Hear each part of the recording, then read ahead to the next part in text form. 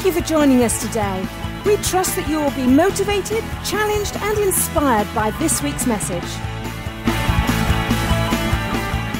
How are you doing? It's great to be here today. I came to the embarrassing discovery in the green room that I think it's almost a year since I've seen your pastors. I repent totally and thoroughly. Hopefully, I'll get to see you again, again soon. For those of you who don't know me, haven't seen me minister before, I spend about a third of my years still in um, the extreme end of, of Russia. Until about a year ago, I actually lived there for, for over 12 years. I think I'm one of the few people in this country who was actually glad to be here in the season of rain we had a month ago. Because at the same time, the area I go to in Russia was minus 50. So I talk to my son, lives out there. He's got a Russian wife and he's got a little kid now. And I'm talking to them every day. And I'm looking out the window thinking, I like this rain. I love this. I love this rain. Well, my brother got married yesterday. Again. And I thought, only my brother would get married on the first day that gay marriage is legal without realizing it was going to cause some questions. And this week, somebody, you know, I just chucked in the conversation. I said, My brother's getting married on Saturday. And they're looking at me. And I thought, I said, His partner is called Tracy. And then I wanted to stir it up and say, But a month ago, she was called Terence, you know. Anyway, I've got to apologize this morning. I've got a singly non Mother's Day message for you. So if, if you've got a Bible or an iPad that works or whatever, um, to, go to 2 Corinthians chapter, chapter 2, verse 11. I'm preaching about a verse that you, you all know. Um, it says this We're not outsmarted by Satan, for we know what he is trying to do. And I read that verse and I just paused on it and I thought, that's great. But I know so many Christians who, to be honest, time and time again are getting outsmarted by the devil because they are completely pig ignorant of what he is trying to do. The Amplified Bible puts it this way We are not ignorant of his wiles and intentions. The New Living Translation says, We are very familiar with his evil schemes. Some obscure American translation, says we are not taken in by his mind orientated strategies. The Chris Horwood's loose liberal translation says we are not dumb. We know exactly how he is trying to mess up our thinking. Because whatever is happening in your life, what really is happening in your life is the devil is trying to get you to think wrong. Because if we think wrong, then our emotions will be wrong, and our words will be wrong, and our actions will be wrong. Even when the devil comes along and attacks your body, it's really not about your body. What he's really trying to do is to get you to think wrong.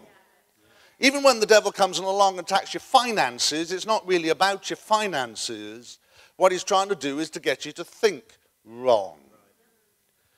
You see, really, what the devil is trying to do in our lives, time and time again, is to get us to think like he does. Because when we think like he does, we will talk like he does. And we will act like he does. Now, I know that doesn't happen in this wonderful church in Weston-super-Mare. So you're just going to have to trust me and believe me, church. But there, there really are Christians in the world, in other places, who talk more like the devil than like Jesus. There really are some Christians in other places who act more like the devil than like Jesus. So I thought it'd be good to talk about this this morning because I think this is going to help you. I've got five important things. So you ready? Here's number one. First thing you need to note the devil has no power over you apart from what you let him have. The Bible says you are a son of God, you are an heir of God, you are an equal heir with Jesus. The Bible says the minute you got saved, God raised you up and seated you together with Christ in heavenly places. And it says that Jesus is sitting there with all things beneath his feet, both in heaven and on earth. So the devil has no power over us apart from what he can trick us into letting us give him. So often people go, Pastor, Pastor, the devil's messing up my life. I just want to turn to them and slap them and say, Well, stop him. oh, Pastor, the devil's messing up my life. Well, stop him then. He has no power over us apart from what he can trick us into handing over to him. And unfortunately, many Christians, he manages to trick time and time and time again. And he'll go on doing it. Number two, the devil is not dumb. Despite what Pentecostal preachers like to preach, the devil is not dumb. It says in Genesis chapter 3, verse 1, it says, The serpent was more cunning than any other beast of the field that the Lord God had made. Now, I don't know if you've ever realized that snakes are not particularly clever. So it's not talking about the serpent, it's talking about the devil working through the serpent.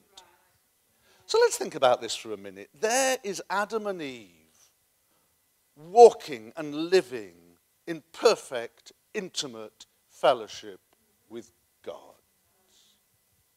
Every day, they met with God, they fellowship with God.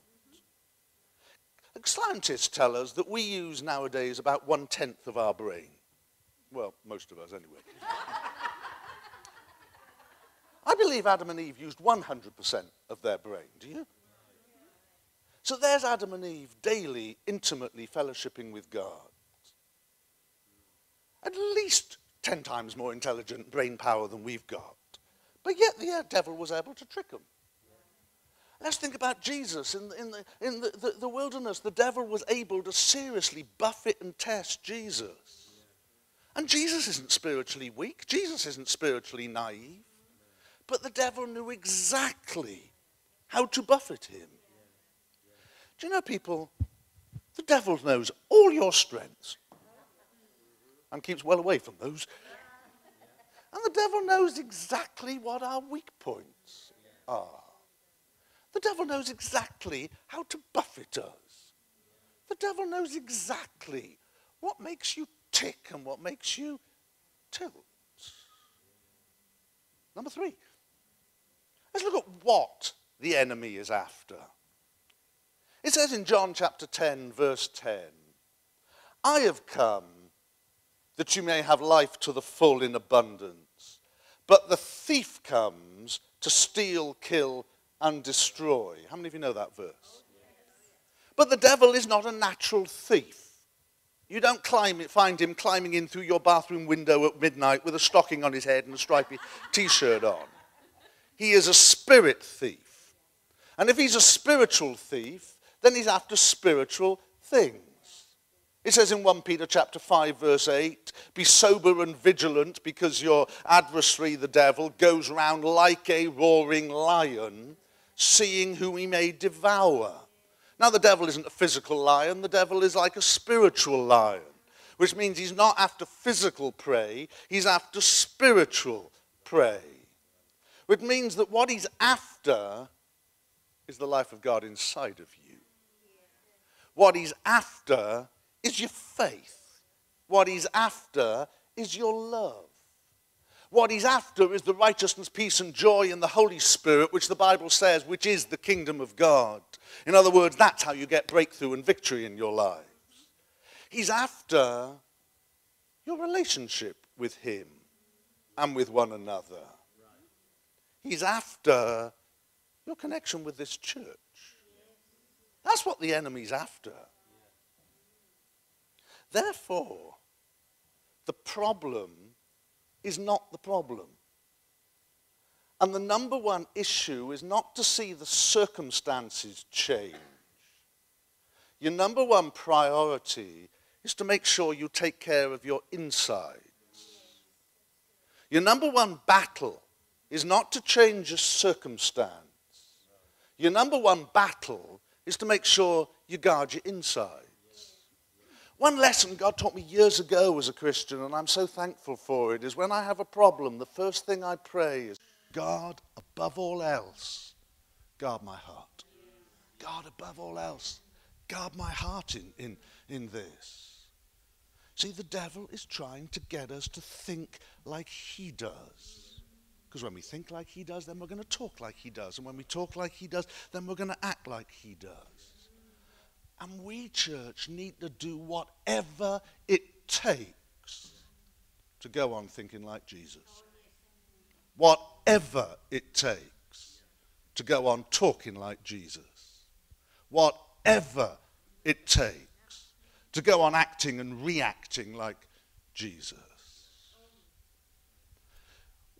I don't know what you guys think and teach about spiritual warfare here. I've discovered the, the, the, biggest spiritual warfare in the church is between those who believe in spiritual warfare and those who don't. but you know what real spiritual warfare is? It's you doing and fighting to go on manifesting Jesus in a crisis. That's the real spiritual warfare. Number four, let's look at when the enemy comes. John chapter 10, verse 10 again. Jesus says, I have come that you may have and enjoy life to the full in abundance till it overflows. But the thief comes to steal and kill and destroy. I mean, have you ever noticed that thieves don't bother with poor people who don't have anything to steal? I mean, that's. A... You see, we think the enemy comes and attacks when we're backsliding when we've allowed ourselves to get weak in the things of God, then the enemy, no, he doesn't. He just lets you mess up your own life. It's, it's when we're starting to grow in the Spirit.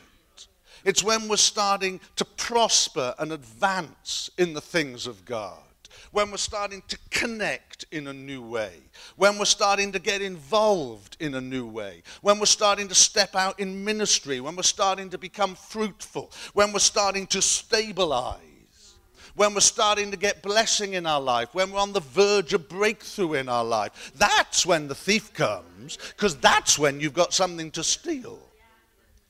In the Old Testament, 2 Samuel chapter 5, verse 17. 2 Samuel chapter 5 verse 17.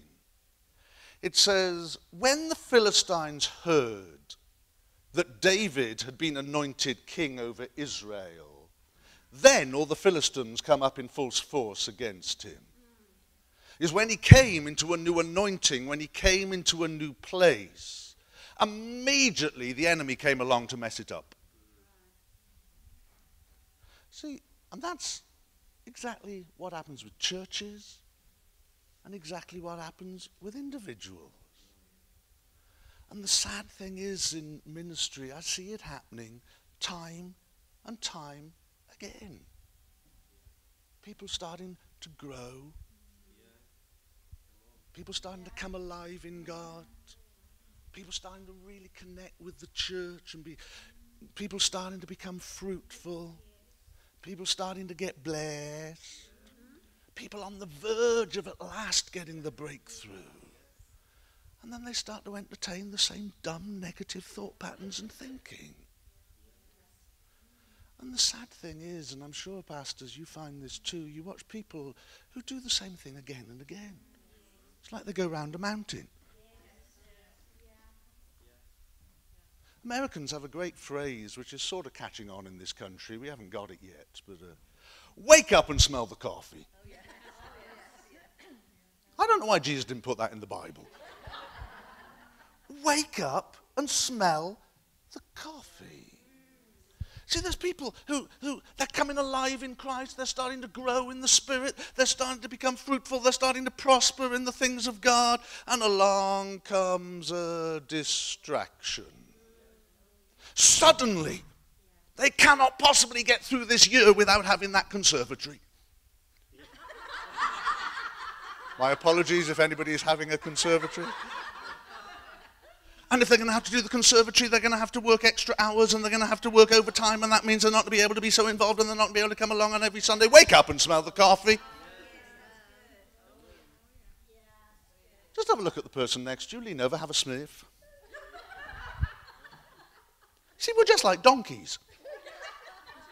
We're going along. We're a good little Christian donkey. We're a good little spiritual donkey. We're in God's path. We're heading in the right direction. And the devil knows exactly which little carrot he has to come and wave. And off we go. Wake up and smell the coffee. There's other people. They're doing great. They're growing. They're settling. They're back in church. And the same dumb negative thinking comes. You're no good. You're a useless Christian. Nobody really likes you there. You don't belong in that church. And instead of doing what we ought to do, which is kick it into orbit, we agree. Oh, I'm no good. I'm a useless Christian. Nobody really likes me in that church. I don't really belong in destiny. Oh, will you please wake up and smell the coffee? Other people are doing great in God. They're starting to grow. They're starting to stabilize. They're starting to prosper. And it takes just a, a, a little thing. Not a Goliath. Because the devil knows full well if it was a Goliath, we get everybody to pray, we get blisters on our fingers in Facebook. And so it's just a, a little bit of flu, just a little bit of financial problems, just a little bit of extra work, just a little bit of family problems. And instead of rising up to fight, we let it take us out. Other people are doing great in God. They're starting to grow. They're starting to come into place. And they get offended again with Sister So and so. Good morning. I got people in the church in Russia that I pastored. You could write it on your calendar like Christmas and Easter. Every year, regular as clockwork, it's going to happen. You could write in advance on your cal- the calendar, Sister so and so is going to get offended. And you can see it happening. There they are, they're coming back, they're starting to come along to the family, the home groups again. They're starting to serve, they're starting to be happy. They're there, they're actually starting to smile in a church service for the first time in a month. And then they're not there. Why? They got offended again. Or perhaps they got offended with the leaders.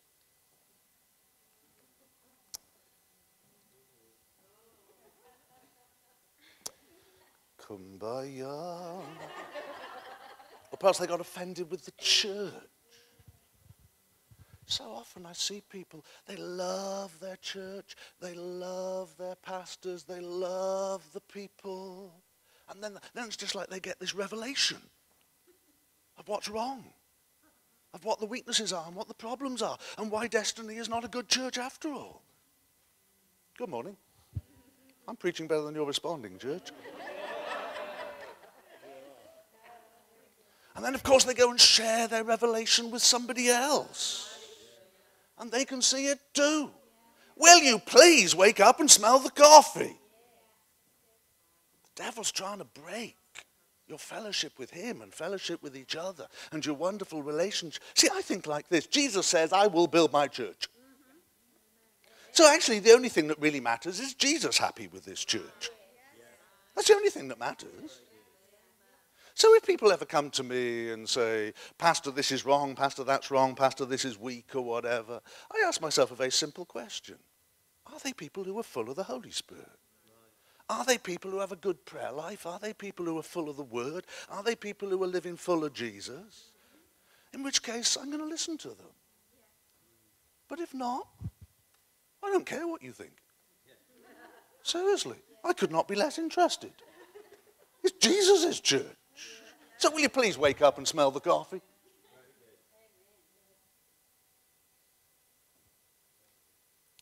So, how do we, number five, resist the devil? First of all, recognize what's going on. First of all, realize what's happening. First of all, don't be ignorant of the enemy's devices. You know, when those thoughts come, ah, I know what's going on. We're living in the New Testament, and what matters in the New Testament is that you are spiritually in a strong place. No, I have to fight, I have to do this. And there are times when I will pace about my office, just go, no, no, no, no. Because I'm sorry, I'm not going to dishonor my Savior. We hope you have enjoyed today's message. To download further resources, click on the resources icon. If this message has impacted your life, we would love to hear from you.